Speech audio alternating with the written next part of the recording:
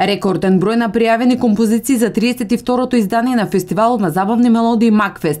Пристигнати се вкупно 140 композиции, од нив 30 се настрански композитори од повеќе европски земји кои сакаат да се представат на македонската сцена. За утре веќе е закажано првото преслушување на пристигнатите мелодии, од кои треба да бидат избрани 30 песни кои ќе се борат за влез во финалната вечер. Веќе од утре или на крајот на крајот на утрешниот ден веќе ќе знаеме од прилика со каков квалитет и каква препознатливост Макфест 2017 ќе блесне на македонската музичка сцена.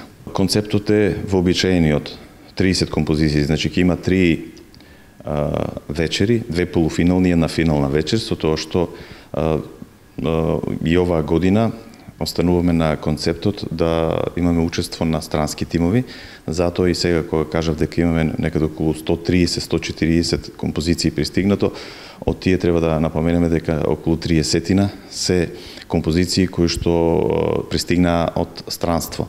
Фестивалот Макфест, кој е синоним за Штип по неколку годишната промена на терминот во месец јуни, оваа година се враќа во стариот добро познат термин, односно месец октомври. Кога говориме стар термин, мислиме на оној вообичаениот, тоа е октомври, првата или втората недела од октомври, меѓутоа традиционално некаде околу 6, 7, 8 октомври ќе биде фестивалот, како и прочем изминатите 30 на година, исклучувајќи последните 4-5. Ревискиот оркестар и оваа година ќе биде дел од 32-то издание на фестивалот. Минатата година Александра Јанева со песната за 100 години ја освои првата награда, додека пак на првото издание на фестивалот на забавни мелодии Макфест 1986 година прв победник беше Хелена Благне со песната Кога те нема.